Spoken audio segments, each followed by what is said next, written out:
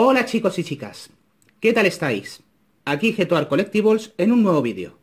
Y en este caso chicos, os traigo un vídeo un tanto especial, ya que se trata de qué figuras pediría yo para estas navidades si no las he recibido con anterioridad. Este vídeo básicamente es para que podáis elegir y ayudaros por supuesto a elegir de entre todas las figuras de Jurassic World que ha ido sacando Mattel a lo largo de este año, las, por así decirlo, mejorcitas que considero a mi criterio. Haciendo hincapié en esto, es mi criterio personal, y sé que hay algunos de vosotros que mm, puede que no opinéis igual, pero es mi criterio personal. Si os sirve de ayuda, bien, y si no os sirve de ayuda, pues bueno, espero que disfrutéis por lo menos viendo este vídeo. Comentaros también que gracias por el gran apoyo que le estáis dando al canal, de verdad, eso me ayuda a seguir subiendo vídeos, porque sé que os gusta el contenido. Y antes de que me comentéis mmm, algo, comentaros de que aquí, por ejemplo, en este vídeo no va a estar las Dino Rivals, y no van a estar como consecuencia de que todavía no han llegado a mi país. Si estuvieran, pues bueno, igual sí, pero como no están, pues no se va, no se va a hablar sobre las Dino Rivals. Dicho esto, vamos a empezar con el vídeo. Hay una figura que considero que es, por así decirlo, estándar que esté en cualquier colección de Jurassic Park y Jurassic World. Sé que hay algunos de vosotros que la habéis encontrado en tiendas y hay otra gente que, por ejemplo, como es mi caso, a las tiendas físicas no las han traído, pero sí se pueden encontrar por internet. Y es la figura de Mosasaurus. ¿Por qué recomiendo la figura de Mosasaurus? Bueno, como sabéis, Hasbro en su momento sacó una figura de Mosasaurus, un tanto pequeña, bastante rara, pero en aquel momento era la mejor figura de Mosasaurus que teníamos. Sin embargo, la figura de Mattel se come a la de Hasbro de calle. Para empezar, cualidades buenas, su gran tamaño, que hace que esté dentro de cabe a una escala con las otras, de unos 71 centímetros de longitud, es una bestia parda. Y si lo ponemos así, puede ponerse en los 34 35 centímetros de altura, haciendo que sea un auténtico monstrenco. Otra de las cosas buenas es que no lleva tornillos, hay mucha gente que se ha ido a bañar con ella, yo no lo recomiendo, pero bueno. Y también tenemos el tema de que su cuerpo es de goma, como estáis viendo. Y la mandíbula la puede abrir y cerrar. Ideal para jugar con ella. Las aletas también son articuladas, no son solamente articuladas de para los lados y arriba abajo, sino que tienen doble articulación, como estáis viendo, y hacen que esta figura sea realmente increíble. Por supuesto, también el tema del esculpido y el color son exageradamente buenos. Voy a acercar la cámara para que podáis ver ahí la aplicación de Jurassic Facts, para que podáis escanearla. Una figura realmente recomendable y realmente buena, la de este Mosasaurus.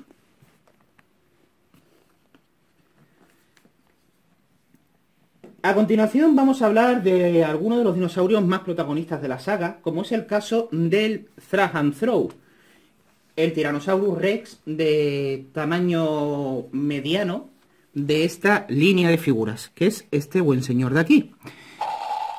El Throw mm, es una figura un tanto con polémica, ya que mm, tiene muchas veces un poco de mala estabilidad. En el caso del mío tiene buena estabilidad siempre que no lo pongas en una superficie que sea de, por así decirlo, blanda, como ahora mismo se encuentra. Y eso hace que se caiga. Pero es una gran figura.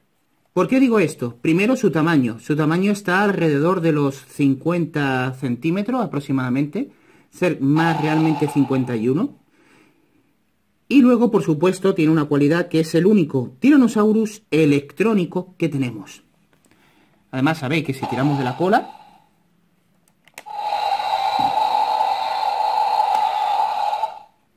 Nos hace esos movimientos. Una figura realmente buena. Pero tengo que añadir una cosita. Si queréis una figura que sea más económica y con la que vaya a disfrutar igual, os recomiendo este buen mozo de aquí. El Rex Mandíbulas Extremas, sin duda alguna. ¿Por qué? Es más pequeño que el anterior. Mide alrededor de unos 48 centímetros. Pero es una figura realmente mmm, extraordinaria. Y os voy a comentar por qué. Tiene un buen tamaño. A la hora de jugar con él, hay que jugar, se puede jugar mmm, más tranquilo que con el Frag and Throw por el tema de la electrónica. De hecho, por ahí lo estáis escuchando. Luego también tiene otra cualidad buena, que es que mmm, la figura está bastante articulada. Como bien sabéis, las patas las puede mover de esta forma. Tanto para adelante como para detrás. Y las traseras también. Las pueden mover para los lados. Incluso. Y para adelante y para detrás. La articulación está bastante dura.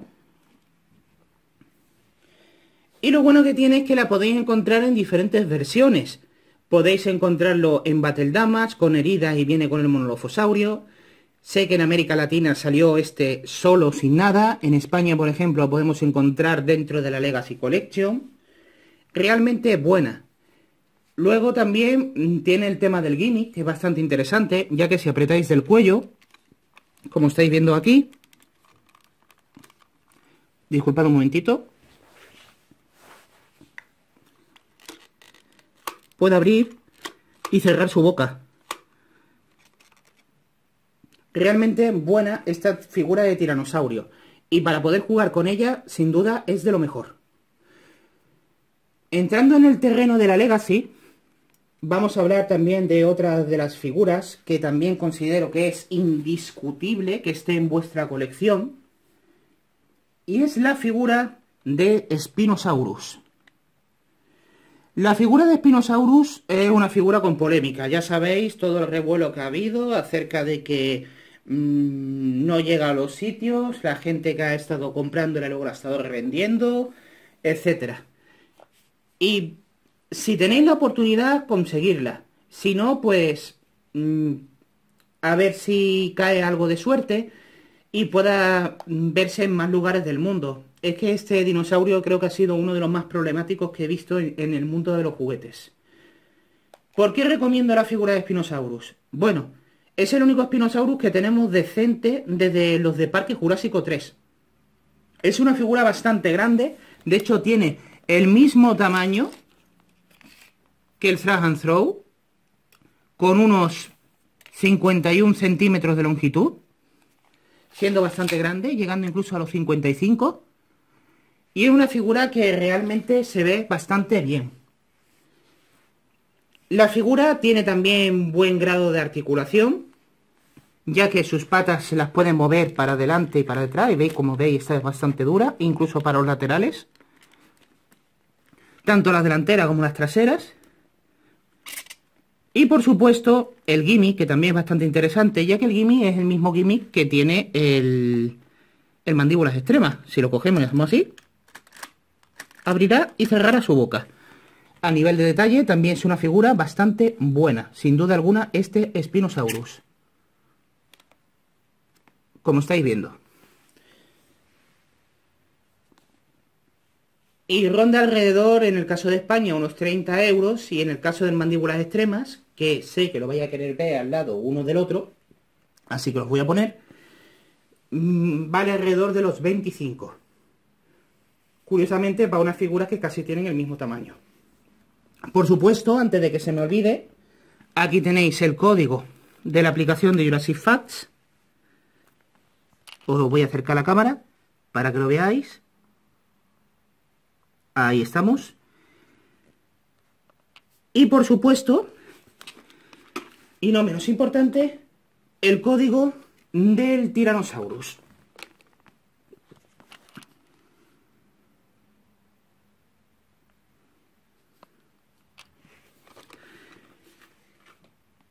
Siguiendo en el terreno de la, de la Legacy, os voy a comentar algunas de las figuras que más me gustan y que recomiendo. Y una de esas figuras es este buen mozo de aquí. El Velociraptor del mundo perdido. Voy a acercar la cámara para que lo podáis ver mejor. Y ahí lo tenemos. El Velociraptor del mundo perdido, aunque no se parezca mucho en realidad a como es, sí que es verdad que es una figura que recomiendo. ¿Por qué? Considero que el pattern de color está muy bien realizado y queda bastante bien para este molde. Y desde luego se ve realmente bien.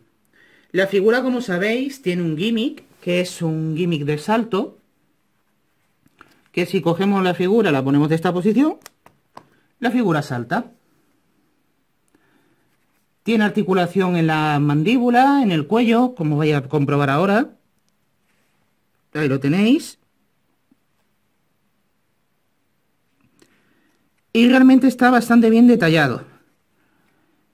Recomiendo esta figura como consecuencia de que es de las pocas que intentan emular a, a las anteriores películas y queda bastante bien con este molde.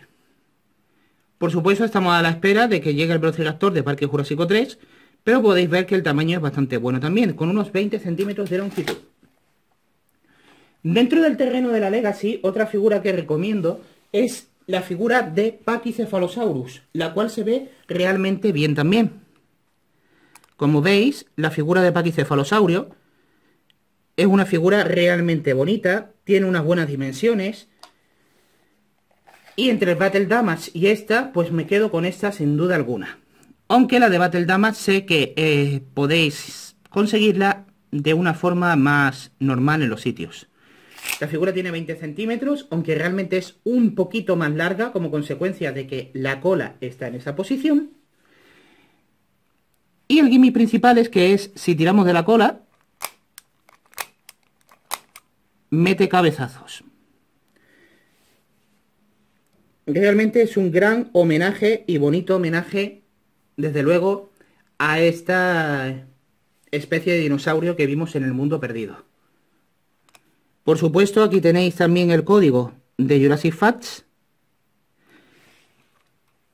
Y antes de que se me olvide, el código del Raptor. La pega de esta figura que siempre dice la gente es el tema de los pies tan grandes.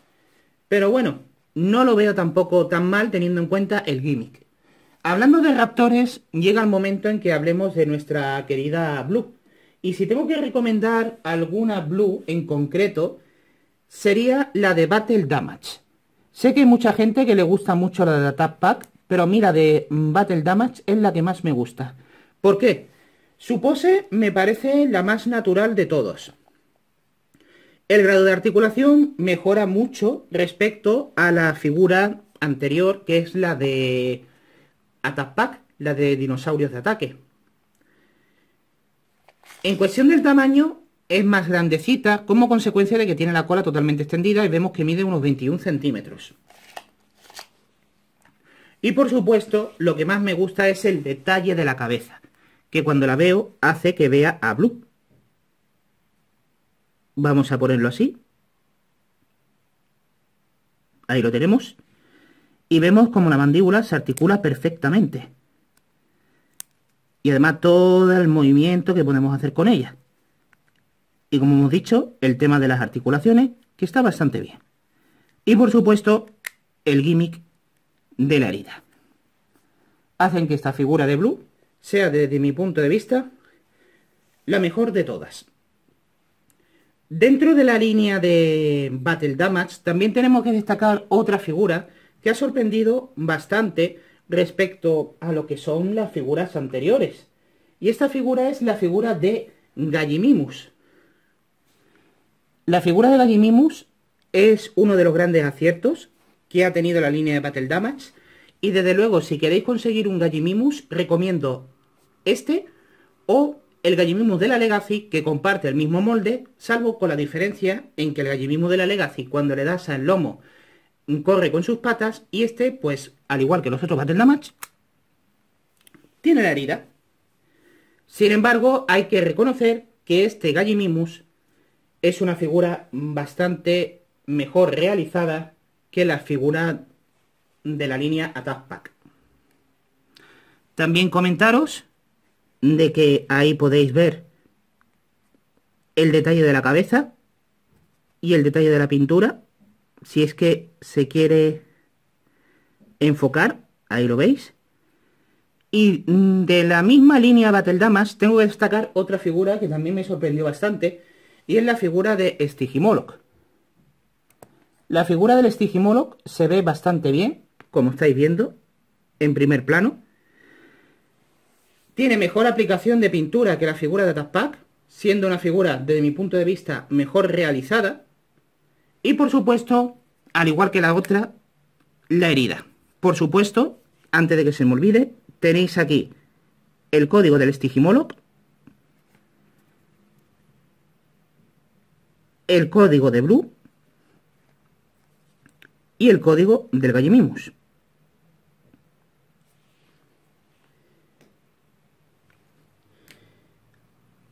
Entrando ya en el terreno de las Attack Pack, me gustaría destacar pues dos figuras que me sorprendieron bastante. Una es la figura de Herrerasaurus, que lo tenéis aquí presente, ya que es una figura que se ve realmente bien respecto a la versión de Battle Damage y sin duda alguna es una de mis favoritas. Esta figura pertenece a la Web 2 y considero que es de las mejorcitas que podéis encontrar. Y aquí, por ejemplo, tenéis el código de la aplicación de Jurassic Facts. Una figura bastante buena. De hecho, hay una cosa que me llama muchísimo la atención y es la gran apertura de la mandíbula que tiene. Porque el Herrerasaurus, cuando abre la boca, es súper exagerado. Ahí lo tenéis. Incluso la puede abrir más. Ahí lo tenéis con el tamaño máximo abierto. Que de hecho me recuerda alguna vez al tiracino o algún bicho de estos. Y otra figura que también me sorprendió en su momento y pertenece a la Wave 3 es la figura de Proceratosaurus, que estaréis viendo ahora mismo en estos momentos en pantalla, ya que es la única figura de Proceratosaurus, al igual que le pasa al Herrerasaurio, siendo una figura la verdad que bastante llamativa. Lo que menos me gusta de la figura es la cola tan pequeña que tiene, que le queda bastante bien si se tratara por ejemplo de un dinosaurio avestruz, pero hay que reconocer que nos alegra bastante de que hayan sacado una figura de Proceratosaurus. De hecho, un dato curioso es que se supone que el Proceratosaurus va a tener un repintado dentro de la línea Dino Rivals. Así que veremos qué va a ocurrir.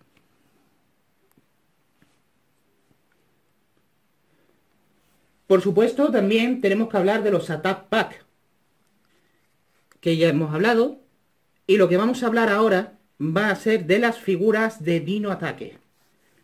Las figuras de tamaño medio. Entre ellas tenemos que hablar de un dinosaurio que se ha convertido en, uno de los protagonistas de la saga, que es la figura de Carnotaurus, figura que realmente recomiendo, ya que es de las más grandes que han sacado. Y por supuesto, presenta un gimmick bastante llamativo. Voy a ponerlo para acá porque si no, a lo mejor se sale de pantalla. Que es la acción de mordida, que se ve bastante bien, la verdad, sin duda alguna. Haciendo que esa figura sea bastante buena. Y como veis, de tamaño, tampoco está nada mal. Con unos 37 centímetros de longitud. Otra figura que recomiendo dentro de esta misma línea sería la figura de Stegosaurus. La figura de Stegosaurus es uno de estos grandes olvidados que no gusta tanto a la gente, pero tengo que decir que es espectacular. Como consecuencia de que mide 18 centímetros de alto y las dimensiones cercanas también, con unos 36 centímetros de largo. Y por supuesto tiene un gimmick bastante bueno, que es de pegar coletazos. Y el nivel de detalle se ve realmente precioso. Por supuesto, antes que se me olvide, Aquí tenéis el símbolo de Jurassic Facts. Y por supuesto el del Carnotaurus.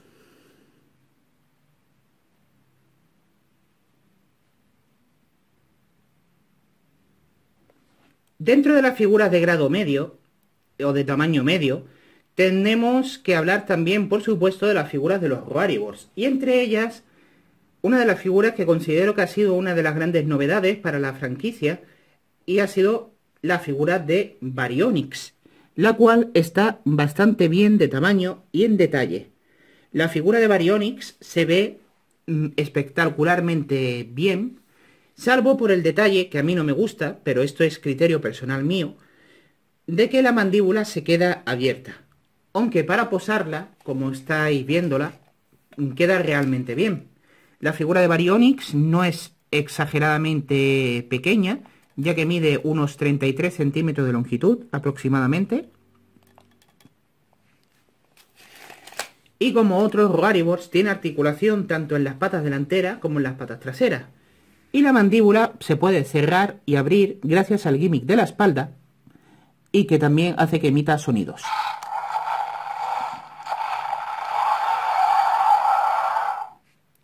Y por supuesto mostraros también la aplicación de Jurassic Facts. Una figura realmente bonita, pero que tiene un problema, que es que como es de la Wave 1, es muy difícil de conseguir. De hecho, yo he visto gente que ha tenido muchos problemas para conseguirla y que a día de hoy todavía la están intentando conseguir y no la consiguen comprar.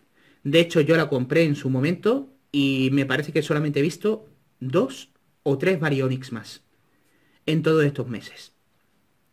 Dentro de la misma línea de los Roaribors, tenemos que hablar de la figura de Ceratosaurus, la cual pertenece a la Wave 2 y al igual que su compañero anterior también es difícil de encontrar. ¿Y cuál es una de las cualidades que considero que hace que esta figura sea única? Pues bueno, para empezar es el único ceratosaurio decente que tenemos. Aparte de la figura que sacó Hasbro, pero ya sabéis cuál es la opinión de la gran mayoría sobre Hasbro. También comentaros de que este Roaribor es el único que se queda con su boca cerrada, lo cual hace que sea todavía más excepcional. Y por supuesto, al igual que otros Roaribors, pues tiene su sonido. Y como veis, abusan del tema de que usa los sonidos del Tyrannosaurus Rex. Pero de todas formas también hay que decir que en la película pues tampoco lo vimos rugir, ya que solamente aparece en Parque Jurásico 3 y solamente estaba bufando. Por último y no menos importante, tenéis aquí la aplicación de Jurassic Facts. Y ahora vamos con una de las figuras de Roaribor que considero que es de las mejorcitas, y es la figura de Sinoceratops barra Paquirrinosaurio. Sé que hay mucho problema con esta figura en el sentido de que no es el Sinoceratops, es el Paquirrinosaurio, pero Mattel no tiene la culpa. La culpa realmente fue de Universal al cambiar el diseño del dinosaurio, ya que Mattel son pues básicamente unos mandados y se le comentó que hicieran la figura de este dinosaurio. La verdad que es que la figura se ve bastante bien frente, por ejemplo, a otros ceratopsios, como es el caso de Triceratops, sin duda alguna. Tiene un tamaño bastante bueno, de unos 30 centímetros. Y de cuestión de articulación, pues le pasa exactamente igual que otros roaribos. Tiene articulación tanto del lateral, como estáis viendo, y para adelante y para detrás. Lo que pasa que están bastante duras las articulaciones. Y al igual que el Triceratops, puede hacer sonido y mover su cabeza para arriba y para abajo. Esta figura, desde luego, una figura que impresiona realmente a la hora de verla, ya que tiene mucha más masa que el Triceratops y la considero mejor figura que él. Por último, y no menos importante, tenéis aquí la aplicación de Jurassic Facts. Y hablando de figuras que impresionan, para finalizar este grupito de selección que hemos realizado, me gustaría hablaros de el dinosaurio híbrido por excelencia de esta nueva película que es el Indoraptor. Y entre las dos figuras de Indoraptor existentes en mi país, ya que el de 12 pulgadas no, no ha llegado, tengo que hablar del Indoraptor super articulado. Y diréis, bueno, ¿por qué? Veréis, la figura de Indoraptor electrónico está bastante bien, tiene unos detalles más parecidos a lo que vimos en la película, pero el Indoraptor super articulado mm, gana, desde mi punto de vista, como consecuencia de que esta figura, a la hora de jugar con ella, te tienes que preocupar menos. No es una figura electrónica. Puedes, como bien dice, es súper articulado, lo puedes posar como tú quieras. A diferencia, por ejemplo, de algunas limitaciones que tiene el electrónico, aunque el, electrónico también se puede posar. Pero no tienes la preocupación de que ese electrónico no se vaya a romper la electrónica, etcétera. También os comento lo siguiente, sé que hay alguna gente que es de Latinoamérica, por supuesto, gran parte del canal, y sé que en Latinoamérica tenéis disponibles las figuras de el Indoraptor con la Blue de Battle Damage. Así que aprovechad, ya que ese Indoraptor es exactamente igual que el superarticulado, salvo por la cuestión de que tiene la herida de Battle Damage. E incluso trae el cráneo de la aguja Ceratops. Eso hace que si no tenéis este Indoraptor, comprad aquel porque os va a ser mejor. Y desde luego tengo que decir que para la hora de jugar esta figura es mejor figura que el Indoraptor electrónico. Y por supuesto, aquí tenéis abajo el logo de la aplicación de Jurassic Facts. Sin duda, para cerrar, Mattel ha hecho un contenido bastante bueno de figuras a lo largo de este año, que en un par de semanas despediremos. Pero hay que reconocer que la línea de Dino Rivals que llega ahora nos trae muy buenas figuras, pero también mm, considero que muchas de ellos pues son reinterpretaciones de figuras anteriores. Y hay figuras como por ejemplo es el caso del, por así decirlo, estegosaurio, que empeoran un poco. Pero tengo que reconocer desde luego que han hecho un buen trabajo y que por lo menos van a mantener a esta saga de juguetes basado en la película viva. Así que por una parte me alegro bastante. Pues bueno chicos, hasta aquí este vídeo. Espero que haya gustado. Dale un fuerte like y nos vemos en un próximo vídeo. Un saludito a todos y hasta la próxima. Adiós.